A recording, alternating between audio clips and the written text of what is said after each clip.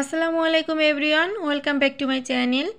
দেশ, দেশের বাইরে, কাছে অথবা দূরে, যে যেখান থেকে আমার আজকের ভ্লগটি দেখতেছেন, আপনাদের সবাইকে জানাই আমার আন্তরিক শুভেচ্ছা।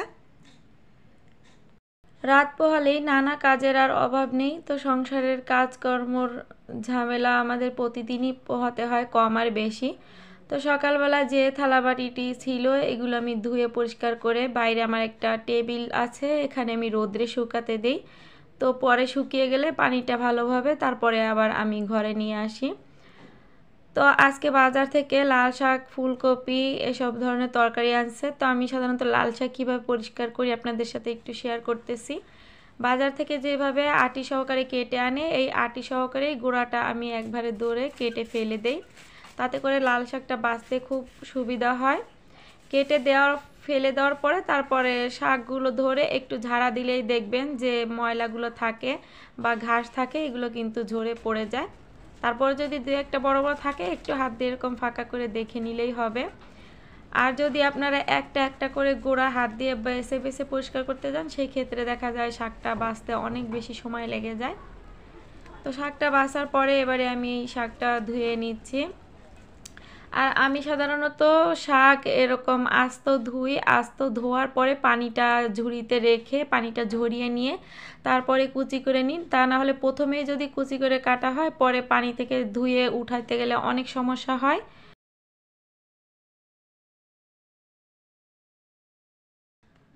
তো ফুলকপিও কেটে রেখেছিলাম, সেটাও এখন আমি পরিষ্কার করে ধুয়ে নিচ্ছি। আর আজকে ফলি পাতা মাছ দিয়ে ফুলকপি রান্না করব। আর সরপটি মাছ ভুনা করব আর লাল শাক ভাজি করব। তো মাছগুলো প্রথমে আমি একটা বোলের ভিতরে একটু ভিজিয়ে নিচ্ছি।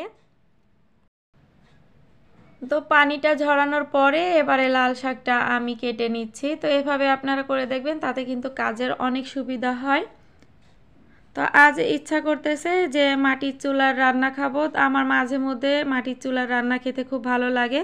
তো মাঝে মধ্যে আমি গ্যাসে রান্না না করে মাটির চুলাতেও রান্না করি। তো আজকে আমি আপনাদেরকে আমার মাটির চুলার রান্নাটাই শেয়ার করব যে আমি কীভাবে মাটির চুলাতে রান্না করি। তো প্রথমে আমার যেহেতু মাটির চুলাটা বাইরে, তো আমি বাইরে এই তরকারিগুলো সব একে একে নিয়ে রাখি। তারপরে আর কি সব গুছাই নেওয়ার পরে তারপরে রান্নাটা করি।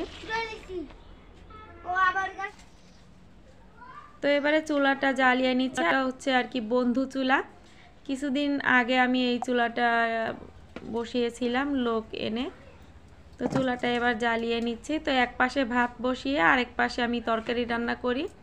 যখন রান্না করি, তো এতে সুবিধা হয় ভাত হতে হতে একটা তরকারি এপাশ থেকে হয়ে যায়, তারপরে আবার আরেকটা বসানো যায়। তো প্রথমে আমি লাল শাকটা একটু ভেজে নিচ্ছি। এই ধরনের ব্লগ আপনাদের কাছে কেমন লাগে আমাকে কমেন্ট সেকশনে জানাবেন। আর আপনাদের যদি ভালো লাগে, তাহলে আমি আরও এ ধরনের ভিডিও সামনে পোস্ট করার চেষ্টা করব। তো আপনারা প্লিজ আমাকে কমেন্ট করে জানাবেন আমার এ ধরনের ভিডিওগুলো বা ব্লগগুলো আপনাদের কাছে কেমন লাগে। তো আমার তাতে সুবিধা হবে যে আপনারা কি ধরনের ভিডিও পছন্দ করেন, সেই অনুযায়ী ভিডিওটা বানাতে। আর যদি আমার এই চ্যানেলটি আপনারা সাবস্ক্রাইব না করে থাকেন, তাহলে অবশ্যই আমার চ্যানেলটি সাবস্ক্রাইব করবেন। আর যদি আমার চ্যানেলটি সাবস্ক্রাইব করে থাকেন, তাহলে আপনাদেরকে অসংখ্য ধন্যবাদ।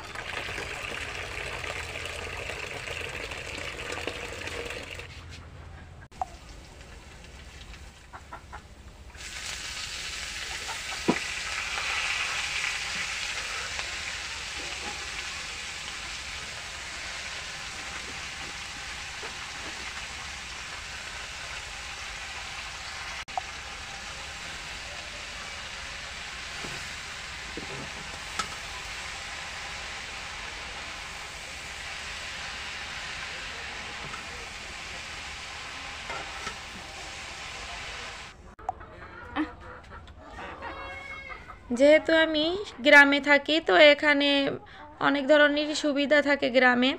তো আমি এখানে মুরগিও পালি, তো আমার চারটা মুরগি আছে। একটা মোরগ ছিল, মোরগটা হয়তো শিয়ালে নিয়ে গেছে, বলতে পারি না। এই মুরগিগুলো এখনও ডিম পারে নাই। মুরগিগুলো কিন্তু ভালো বড় হয়ে গেছে, কিন্তু এখনও ডিম পারে নাই। তো যেহেতু লাল শাক ভাজি হচ্ছে এক চুলায়, এই ফাঁকে আমি মাছগুলোতে যে সরপুটি মাছগুলো আছে, এর ভিতরে হলুদ, মরিচ আর লবণ মাখিয়ে নিচ্ছি, মাছগুলো ভেজে নেব এর জন্য আর যে ফলি পাতা মাছগুলো আছে, এই মাছগুলো আর আমি ভাজবো না, এগুলো এক সাইডে রেখে দিলাম। তো লাল শাকটা ভাজা হয়ে গেছে, শাকটা এবার নামিয়ে নিচ্ছি। আর লাল শাক আমি সব সময় চিংড়ি মাছ দিয়েই ভাজি, তাতে আমার কাছে খুব ভালো লাগে। তো আজকে আমার ফ্রিজে চিংড়ি মাছ ছিল না, এজন্য এটা এমনিই ভাজলাম। তারপরও লাল শাকটা কিন্তু খেতে খুবই ভালো হয়েছিল। আর এই মাটির চুলাতে রান্নার একটা সুবিধা হচ্ছে, বিশেষ করে এই যে বন্ধু চুলাতে একটা সুবিধা হচ্ছে যে কালি, ধোয়া এগুলো বের হয় না, এগুলো একটা পাইপ আছে এক সাইডে, সাইডের পাইপ থেকে বের হয়ে যায়। এই জন্য রান্নাতে খুব একটা বেশি কিন্তু কষ্ট হয় না। যেহেতু কালি ধোয়া কিছুই বের হয় না। আর যে বোতলটা দিয়ে দেখতেছেন, আমি এটা কিন্তু তেল দিচ্ছে, এটা কিন্তু তেলের বোতল না, এটা হচ্ছে একটা লিকুইড ভিমবারের বোতল। তো এই বোতলগুলো আমি যখন ভিমবার শেষ হয়ে যায়, খুব ভালো করে পরিষ্কার করে কুসুম গরম পানি দিয়ে ধুয়ে তারপরে শুকিয়ে এর ভিতরে তেল রেখে, তো আমি সয়াবিন তেল বা সরিষার তেল ইউজ করি। এটা দিয়ে তেলটা ঢালতে খুব সুবিধা হয়। আর দেখা যায় অনেক সময় বড় মুকালা বোতল থাকলে সেক্ষেত্রে কাত হয়ে পড়ে গেলে অনেকখানি তেলও পড়ে যাওয়ার সম্ভাবনা থাকে। আর বিশেষ করে পরোটা ভাজার জন্য তেল ঢালতে খুব সুবিধা হয় এই বোতলগুলো দিয়ে। তো আপনারা চাইলে বাসাতে কিন্তু ট্রাই করে দেখতে পারেন এই ভিমবারের বোতলের ভিতরে তেল ভরে। আশা করি আপনাদের খুবই উপকারে আসবে। তো পুঁটি মাছগুলো ভাজা হয়ে গিয়েছে, এবার এই পুঁটি মাছগুলো আমি ভুনা করে নিচ্ছি। এরই মাঝে দেখেন এক সাইড থেকে ভাতের কিন্তু বলকও চলে আসছে।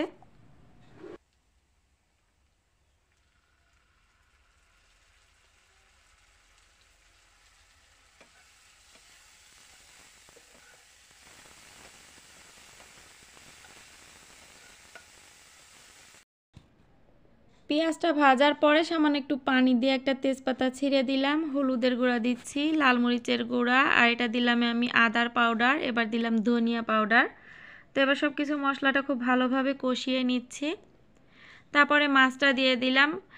আর এখানে কিন্তু অবশ্যই আরেকটা কথা বলে নিই যে, আদা পাউডারের বদলে আদা বাটাও দিতে পারবেন। আমার কাছে যখন যেটা আর কি থাকে, আমি তখন সেটাই ব্যবহার করি। আদা পাউডারটাও আমি ঘরে নিজেই তৈরি করে নেই। তো অনেক সময় দেখা যায় ফ্রিজ থেকে মশলা বার করতে মনে নেই তো সেক্ষেত্রে আমি এই যে পাউডারটা ইউজ করে নেই। তো এক সাইড থেকে আমার ভাত ও হয়ে গিয়েছে ভাত ভুট দিয়ে দিয়েছি। তো এবার আরেক সাইডে আমি ফুলকপির তরকারিটা বসিয়ে নিচ্ছি।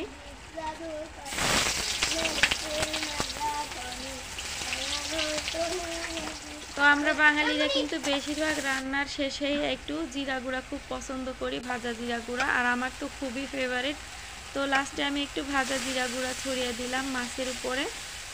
তো ফুলকপির মশলাটাও আমি একইভাবেই কষিয়ে নিয়েছি। এবারে এখানে আমি যে পলি পাতা মাছগুলো আগে থেকে কুটে ধুয়ে রেখেছিলাম, সেই মাছটা এবার দিয়ে খুব ভালো করে কষিয়ে নিয়ে তারপরে আবার ফুলকপিগুলো দিয়ে দিচ্ছি।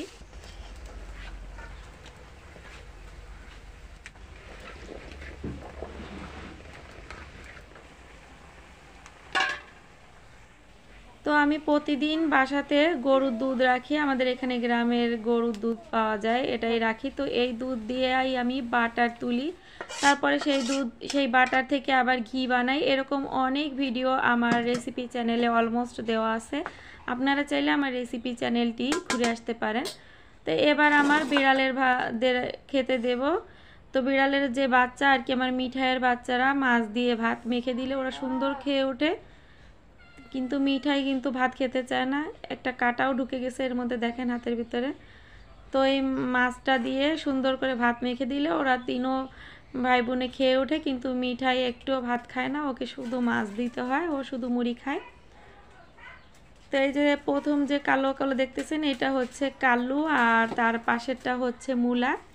আরেকটা হচ্ছে সেটা হচ্ছে পুচি, একটু বাদামি কালার, গায়ের রং। আর এটা হচ্ছে মিঠাই, এই যে বড় বিড়ালটা দেখতেছেন, এটা এদের মা।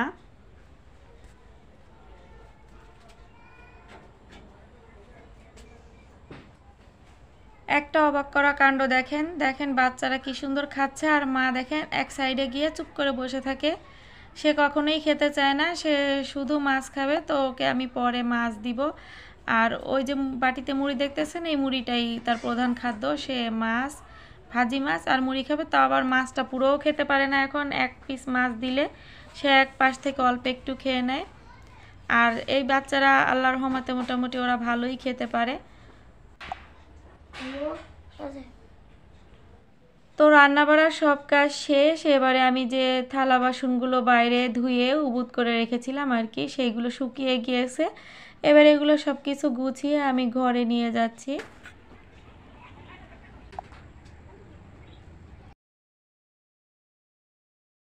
রান্না বাড়ার কাজ শেষ, তো এবারে খেয়ে নিচ্ছি। দুপুর অনেকখানি হয়ে গিয়েছে। আজকে রান্না করতে একটু দেরি হয়ে গিয়েছিল, তো খুব ক্ষুধা লেগে গিয়েছে। এর জন্য আমি আর মেহু একসাথে বসে খেয়ে উঠেছি।